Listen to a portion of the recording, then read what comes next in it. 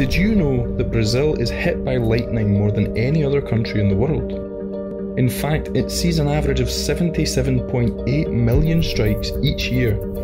And Sao Paulo, the country's most populous city, is fast becoming Brazil's lightning epicenter. Data from the National Institute for Space Research shows that the number of lightning bolts in the city increased 60% in 2019. Experts say this is down to weather phenomena such as El Nino and La Nina, which cause warming and cooling periods.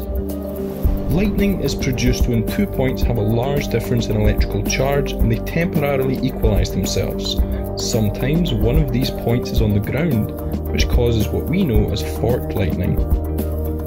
Tropical zones typically see more lightning, as dense thunderclouds are more common due to wind patterns.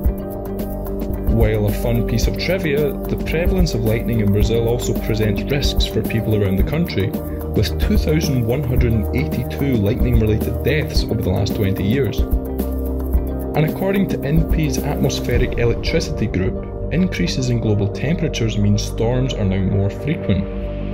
2002 data showed almost 55 million lightning strikes yearly, some 30% less than we see today.